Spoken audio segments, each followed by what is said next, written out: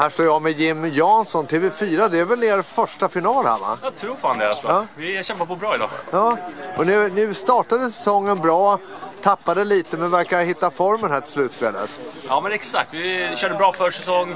Sen var vi lite taffliga under sommaruppehållet där. Men nu, nu är vi igång, nu är vi tillbaka igen. Så det är skönt. Lite dimmigt och blött ute. Passar den här hala bollen er? Ja det passar oss. Ja. Vi fick kötta lite idag, det är Ja. bra. Det är en riktigt skön grismatch.